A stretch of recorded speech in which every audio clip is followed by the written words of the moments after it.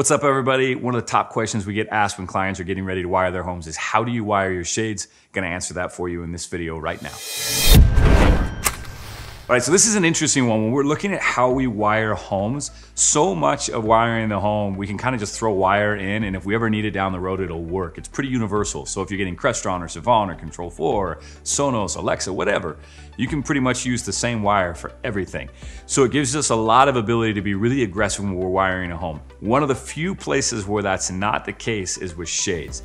Every shade manufacturer has different requirements for how you wire up their shades. If you look at Draper shades as an example, they have two different lines and one line requires high voltage wiring. You have to have high voltage power to power them and then you can either use low voltage or wireless for control. Then they have a second line of shades that are exclusively low voltage. So you use low voltage for power and you can use low voltage for control or wireless control, but the power is low voltage. To make it even more complicated, the low voltage requirements for Lutron are different than the low voltage requirements for Draper. So a recommendation on shades is it's always best, if you can, to find out in advance which shade manufacturer you plan to use, the specific models and lines that you're gonna use, and then find out what their specifications are and wire accordingly. There's a lot of other nuances with shades, whether or not you're gonna have coupled motors where one shade is powered and it's sort of sending the power onto the next shade that's coupled to it. You'd use this for something like French doors or big doors or huge bays of windows. Maybe you're gonna do dual rollers where you have two sets of rollers at that location.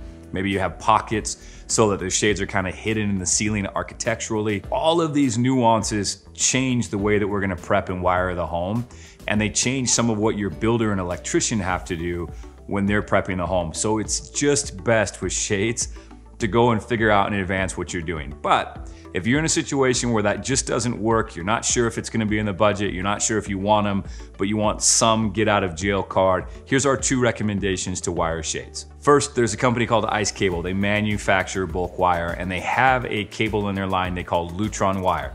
It's not from Lutron. Again, it's ice cable and they have a wire called Lutron wire that is specifically for wiring Lutron shades. So it has what Lutron asks for inside of the jacket so every time you run that wire to a window, it's prepped correctly for Lutron shades. The thing to remember is if you think you might do dual rollers, you've got to run that wire twice to each location, not once.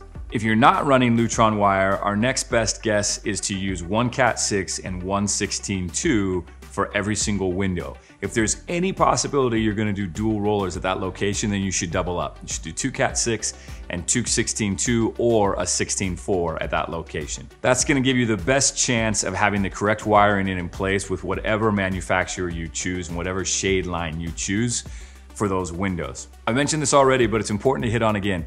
If you think there's any possibility of a dual roller, you need to double up. And on larger windows, you're gonna have to split those windows or those doorways in two.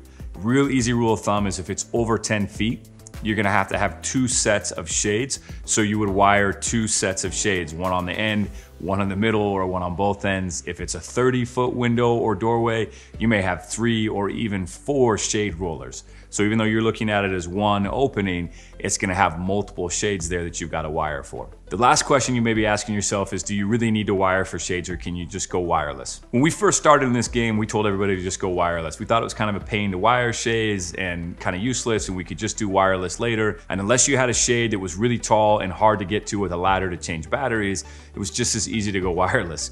We've learned and we wouldn't make that recommendation today. There's a lot of things going on with shades and we found that if you think there's any possibility of getting shades in the future, it's best to wire for those shades. Now you may conclude that you wanna go with wireless shades when you actually buy your shades and that's awesome. If you don't know yet, wire for those shades. The one thing to remember is that those wires are not easily concealed, especially if they're in the jamb of the window. They're gonna come right out of the frame, the finishing, and they're gonna be there exposed and you've gotta have a six to a 12 inch lead that's coming out of the wall. Now we've seen people try different things to try and manage that, make it look clean, put a blank faceplate on there, but in general, you're gonna see those wires until shades go in location, so just be aware of that. So if this video is helpful to you, we just launched a whole new series of videos. We actually have a new video we just launched on YouTube that goes over everything we think you you should wire in a home. We've also got a full course on Tym U that takes you step by step through the process of wiring your own home and how to design the pre-wire for your home. If that's you and you're thinking about doing it yourself or you just wanna have better confidence in what the person wiring your home is doing, there's a link in the description for Tym U. Be sure to check that out. We'd love to see you there. And as always, we'd love it if you'd like, subscribe, and share this with your friends.